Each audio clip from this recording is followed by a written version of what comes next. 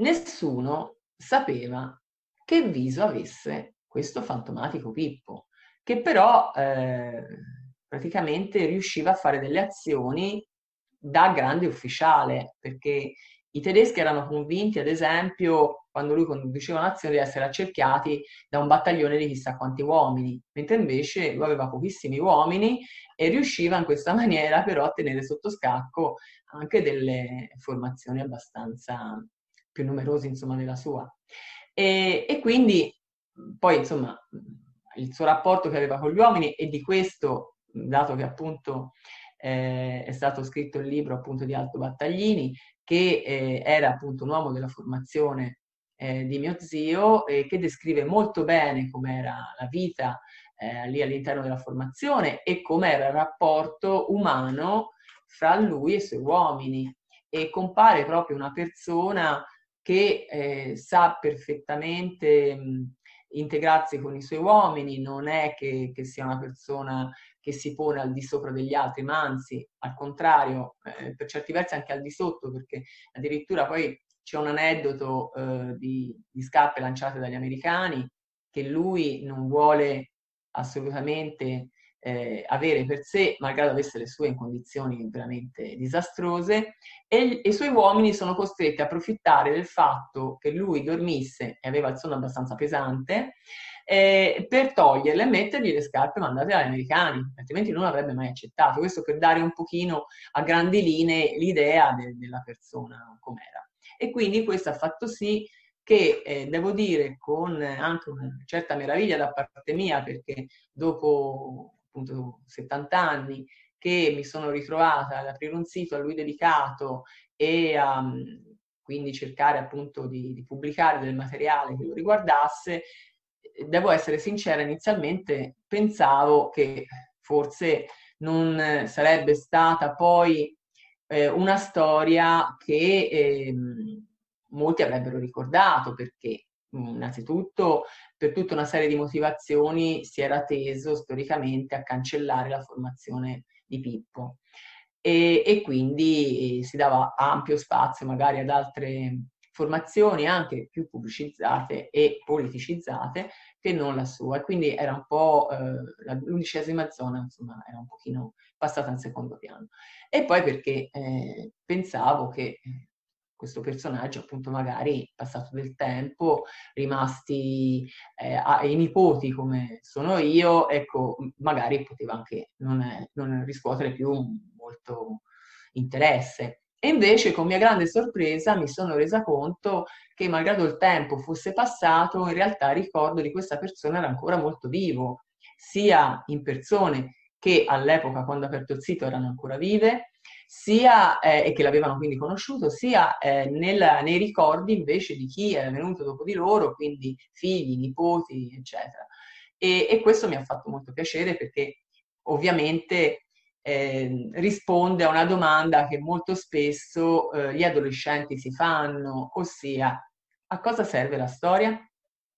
E questa è una domanda che oggigiorno ha un maggior significato anche rispetto magari a tempi passati, perché la storia è molto importante, ma non necessariamente la storia dei grandi numeri, la storia di Napoleone, ad esempio, tanto per citare un periodo storico, eh, contando quante battaglie ha fatto, in che data magari è diventato imperatore, eccetera No, ma la storia proprio quotidiana di ciascuno di noi, perché come dice un'omonima canzone, noi siamo la storia e lo, ce ne accorgiamo adesso che siamo in questo periodo particolarmente critico eh, che molti non a caso hanno proprio paragonato a una nuova guerra. E quindi mh, noi facciamo la storia e sono uomini dal più piccolo al più grande che eh, interagendo insieme riescono a creare anche delle cose molto belle malgrado il periodo eh, infelice che stanno vivendo.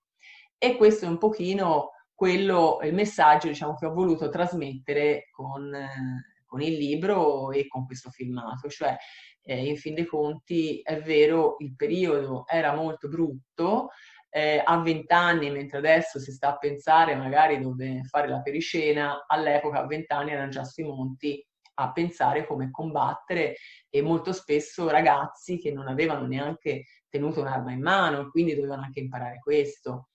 Però devo dire che ehm, Marrico forse ha avuto eh, la fortuna di nascere in un anno molto particolare, il 1920. È un anno eh, che ehm, mette insieme nella stessa classe delle, dei personaggi che poi faranno veramente la storia. Allora, al di là eh, di mio zio, che comunque lui eh, praticamente eh, frequenterà il liceo Forteguerri di Pistoia fino alla classe terza, perché poi gli ultimi due anni, la quarta e la quinta, si sposterà a Lucca. Eh, perché? Perché eh, di fatto viene preso di mira dal preside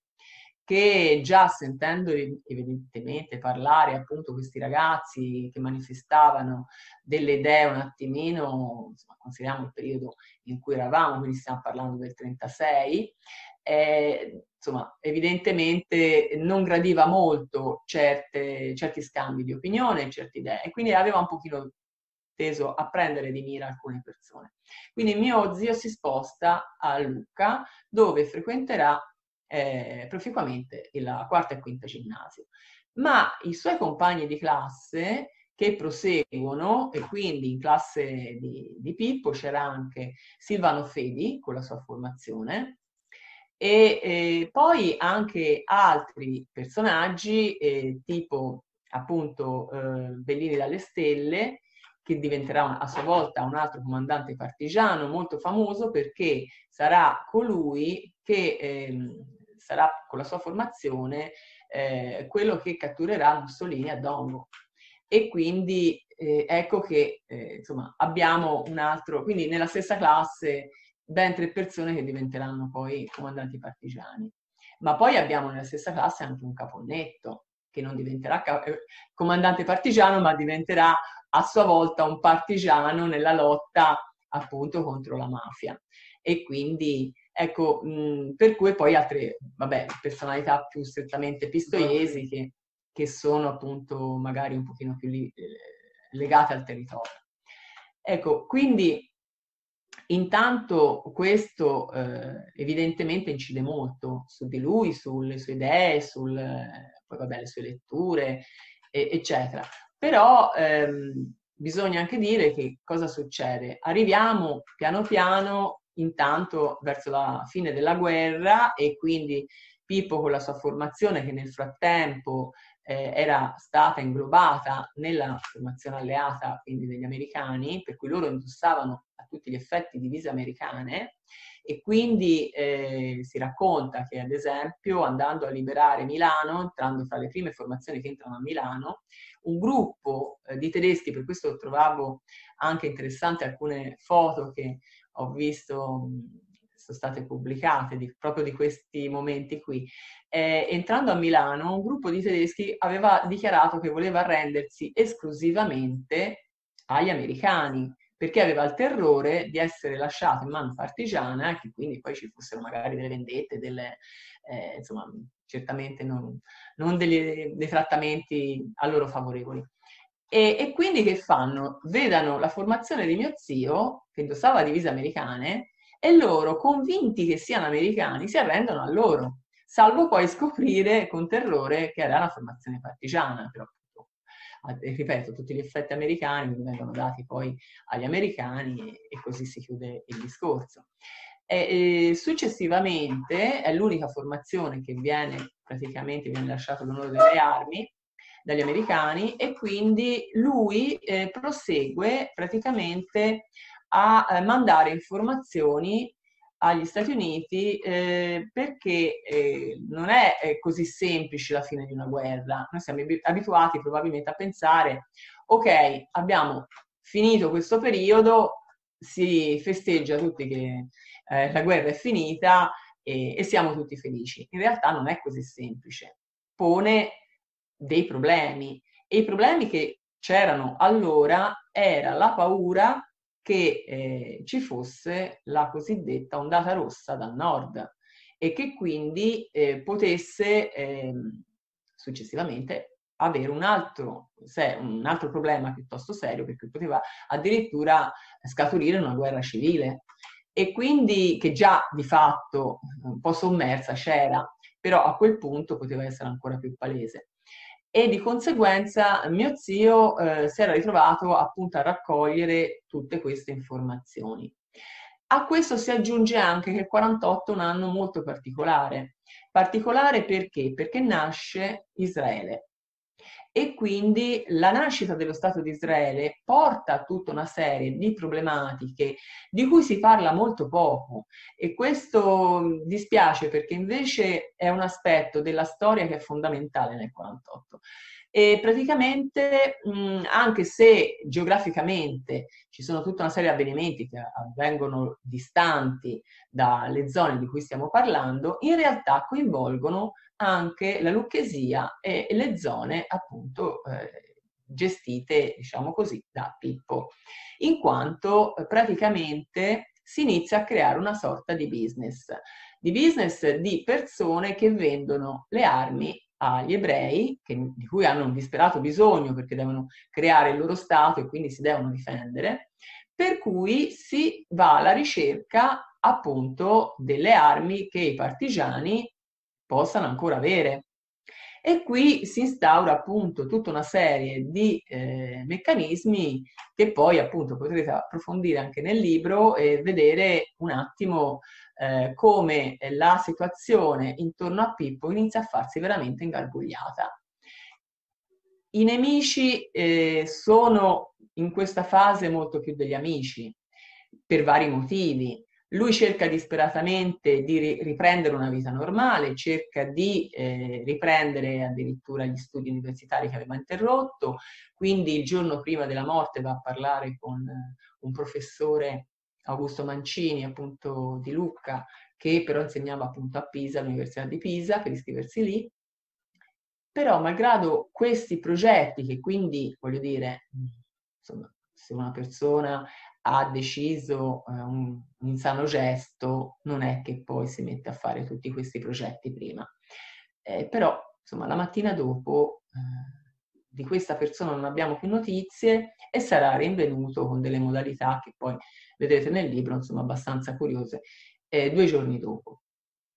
Quindi questo, diciamo, per tracciare un profilo veloce di quello che è la figura eh, appunto di Pippo, che però ehm, io nel libro eh, non voglio che sia ehm, ricordato unicamente per il mistero della sua morte, perché eh, sarebbe non rendergli giustizia in questo,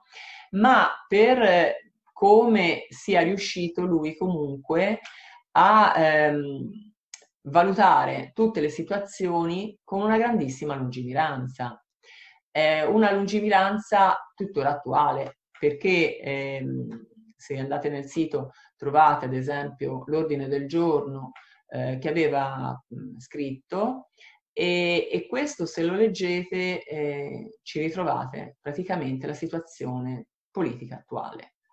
E ci ritrovate tante cose che eh, sembrano praticamente scritte ieri, invece sono state scritte nel 48. Per cui eh, da una parte ci fa pensare che tutto sommato è cambiato poco, siamo progrediti poco. Dall'altro però ci fa anche pensare alla lungimiranza di questa persona, alle larghe vedute e, ehm, e soprattutto come riflessione finale ci fa capire a cosa effettivamente serve la storia. Innanzitutto a onorare le persone che hanno dedicato loro stessi in maniera piccola o in maniera grande, questo non ha importanza, ma hanno eh, dedicato loro stessi a un ideale e poi eh, a ricordarle e a ricordarle come dovrebbe essere, cioè con riconoscenza per quello che hanno fatto. E io, ecco, di fatto è quello che eh, ho voluto fare con questo libro. Stamattina sono alzato, oh bella ciao, bella ciao, bella ciao, ciao, ciao. Stamattina mi sono alzato e ho trovato l'invaso. Oh partigiano, portami via. Oh bella ciao, bella ciao, bella ciao, ciao, ciao. Partigiano, portami via, che mi sento di morire. E se io muoio da partigiano, oh bella ciao, bella ciao, bella ciao, ciao, ciao, e se muoio da partigiano, tu mi devi seppellire e seppellire lassù in montagna. Oh bella ciao, bella ciao, bella ciao, ciao, ciao, seppellire lassù in montagna sotto l'ombra di un bel fior. Tutte le genti che passeranno, oh bella ciao, bella ciao, bella ciao, ciao, ciao, e le genti che passeranno ti diranno che bel fior, e questo è il fiore del partigiano Oh bella ciao, bella ciao, bella ciao, ciao, ciao, questo è il fiore del partigiano morto per la libertà. Questo è il fiore del partigiano morto per la libertà. Questo è il fiore del partigiano morto per.